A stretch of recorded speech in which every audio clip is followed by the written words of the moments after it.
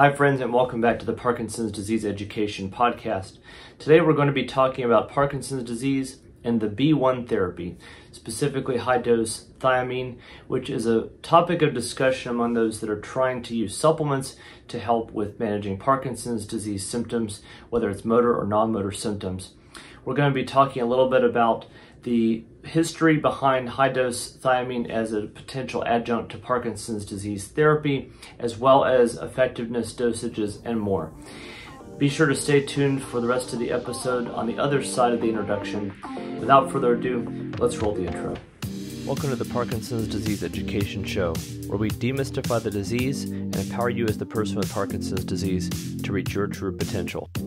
The content contained on this show is for informational purposes only and is not meant to be a replacement for information or advice that you receive from your in person medical or therapy professionals. If you haven't already, I hope you'll consider subscribing. And for an even more personalized experience, please ask us about our memberships. Now, without further ado, let's start the show.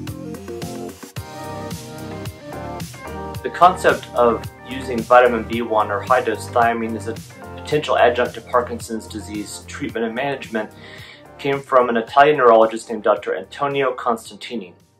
Unfortunately, Dr. Costantini succumbed during the COVID 19 pandemic, but his work lives on through Dr. Daphne Bryan, a music psychologist who is a person with Parkinson's who has used the vitamin B1 therapy successfully in her own journey with Parkinson's disease. So during this episode, I want to share with you some of Daphne's own words when it comes to dosing and other topics with B1. First, I wanted to talk a little bit about the conceptual parts of B1 and why this might be beneficial for you as a person with Parkinson's disease. Question you might have off the bat is Can vitamin B1 therapy be done by itself to treat Parkinson's disease? The answers might vary on that question.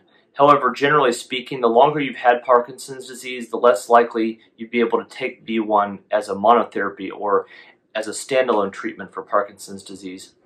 However, if you are taking levodopa, typically this would be an adjunct to the levodopa therapy, not a replacement for it. The idea behind the B1 therapy is that Parkinson's disease is robbing the brain of those specific neurons that produce the highest concentrations of dopamine that we produce in our brains. One can't replace lost neurons, those tissues are gone.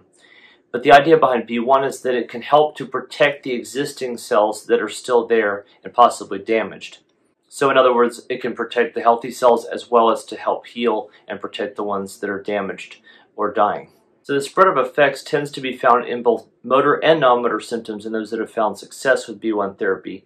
Particularly in, in terms of non-motor symptoms are particularly effective for fatigue. According to Dr. Bryan, dyskinesia can be improved as well as bridging the gap between doses of levodopa to help mitigate off times. So can B1 specifically increase dopamine? Maybe indirectly, and that would be through the mechanism of protecting those nerve cells from dying off and therefore helping the dopamine production levels to stay more stable and not to, to deplete over time. What does the research say about B1 therapy? Well, according to most research, there's promising results, but not enough to definitively say that B1 can help you if you have Parkinson's disease. The response from Michael J. Fox Foundation was kind of a letdown, and I'll give you a screenshot to show you what they said. I think a little bit of my disappointment with the Michael J. Fox Foundation response is that if you read between the lines, essentially they're saying, yeah, you could take it if you want, but it probably isn't going to help, but it probably won't hurt you if you do. As with most supplements we've talked about on this podcast, results vary between individuals, and that's a little bit of why research, more research is needed in these areas because we simply don't know if some of this is placebo effect or if there are actual effects. Although in my argument, placebo effect is not always a bad thing if it is improving your outlook and your feeling of how your symptoms are being managed. Feeling better is feeling better. However, I would love to see more scientific proof or knowledge behind some of these things. Regarding dosage, uh, Dr. Bryan spoke to Michelle Plancart of the No Silver Bullet for PD YouTube channel and podcast, and this is what she had to say based on experience and recommendations uh, and this is also based on Dr. Costantini's work specifically. Yes, we tend to say start low, build up. So in an injection, you might start on two 50 milligram injections a week, or you could start on two 100 milligram injections and just wait to see if you get worsening symptoms and then reduce it after a break if you have. The oral dosage varies hugely from person to person. Some people find their sweet spot, shall we call it, at 200 milligrams and others 4,000. So there's a huge range. Mm. So we generally suggest starting at about 500 milligrams. And you need to allow four to six weeks before you move on to the next level if nothing has happened positively mm. at that level.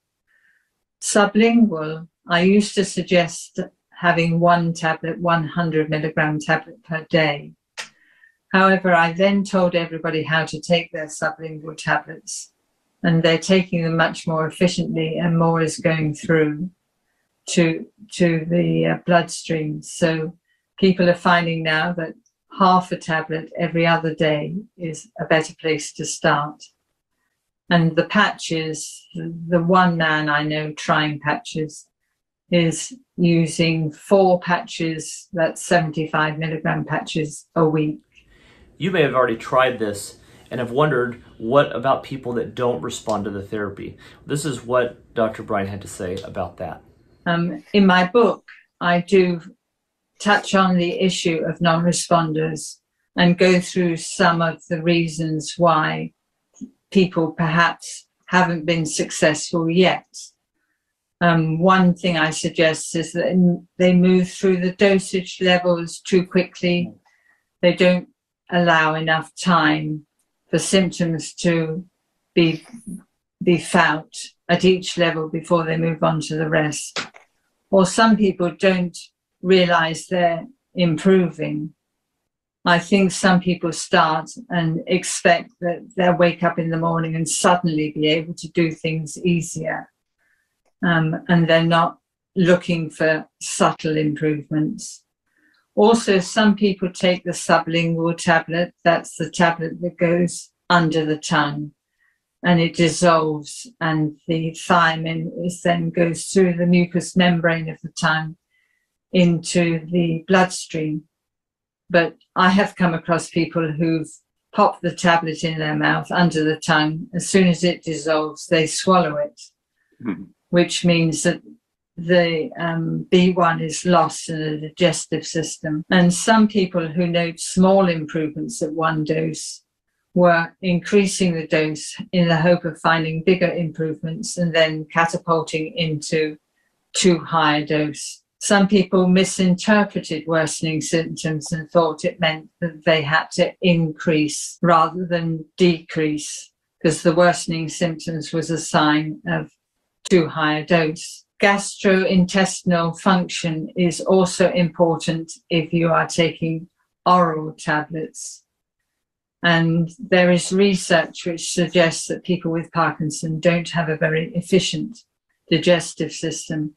And another research suggested that the people over 60 didn't have a, an efficient system. So combine the two, and there could be a problem there. And finally, I'll mention that the nutritionist Elliot Overton suggested that taking high doses of B1 could produce deficiencies in other nutrients, and that thiamine be- could become intolerable or ineffective without supplementing with magnesium and B complex and possibly potassium. So there you have it.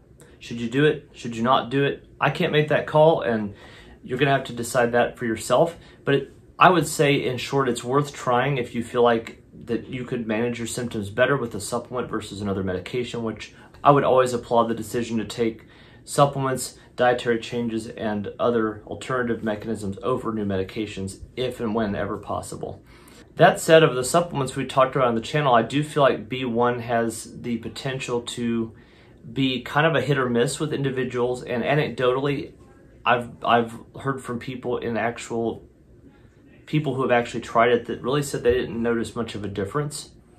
And unfortunately, those are probably individuals that didn't respond as expected but it never hurts to try. If you want to learn more about this specifically, I want to leave a link in the description to Dr. Bryan's book. Parkinson's and the B1 therapy so that you can read it in its entirety and find out more details on what we talked about in this episode today. If you've enjoyed this episode, please like the video. Please share it if you feel extra generous. Uh, share it on Facebook, on Twitter, every other social media that you are in, in contact with so that we can get the word out there. Lastly, I'd like to thank the sponsors of our channel, Kizik Shoes, Comfort Linen, and Orthofeet. If you click the link in the description below, for Comfort Linen, you get a 15% discount off your entire order. You could also potentially get a discount on the Kizik shoes as well for your first time purchases. So be sure to give them some support. I appreciate you watching. I'll see you in the next episode. Until then, be empowered.